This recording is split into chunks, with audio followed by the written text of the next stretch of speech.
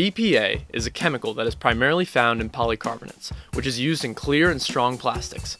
It's also found in the lining of metal cans and the coating of thermal paper used in receipts. BPA is dangerous because it mimics hormones in the body, leading to endocrine disruption, which can be detrimental, especially to children during early developmental stages. It has been linked to heart disease, cancer, obesity, infertility, autism, and more.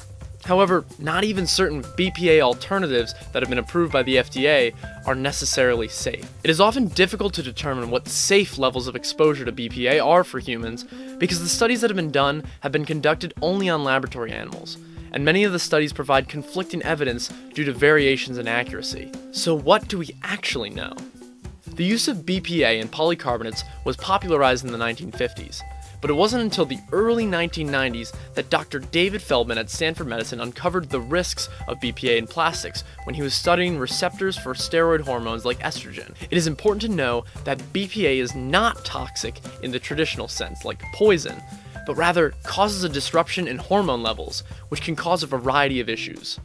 The use of BPA was banned in baby bottles and sippy cups in 2012, but is still used in some canned food, water bottles, and receipt paper.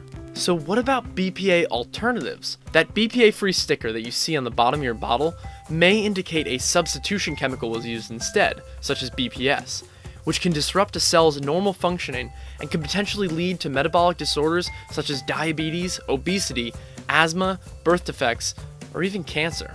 Other BPA-free products may fool you into thinking that they're harmless, but can still expose you to other dangerous chemicals, carcinogens, and neurotoxins. Truly, the best alternatives are glass, ceramic, or stainless steel containers for food, or reusable glass water bottles, which can be purchased for just a few dollars. We are not trying to scare you. We just want to give you the information you need in order to make a simple change and live a happier and healthier lifestyle.